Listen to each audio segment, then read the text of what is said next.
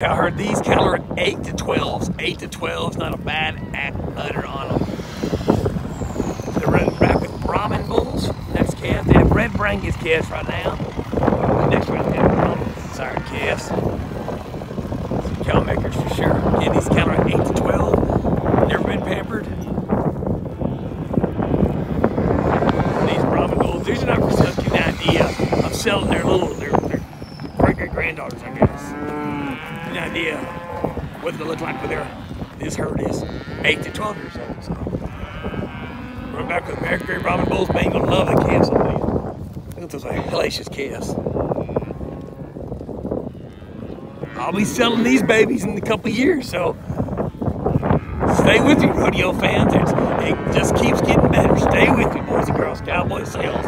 What a deal.